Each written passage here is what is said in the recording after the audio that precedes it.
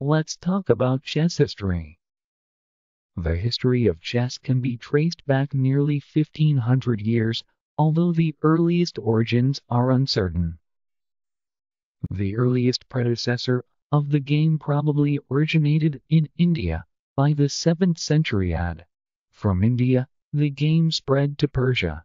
When the Arabs conquered Persia, chess was taken up by the Muslim world and subsequently spread to southern Europe. In Europe, chess evolved into roughly its current form in the 15th century.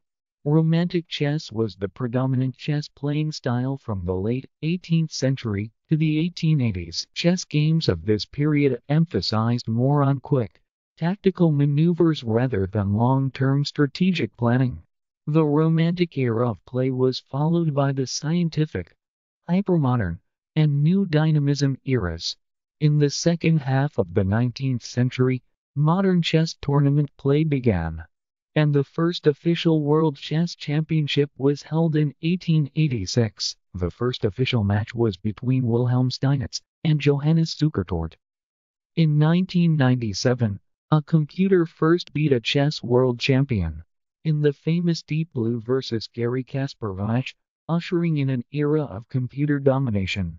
Since then computer analysis, which originated in the 1970s with the first program chess games on the market, has contributed to much of the development in chess theory. Thanks for watching. Have a nice day. Salamat po.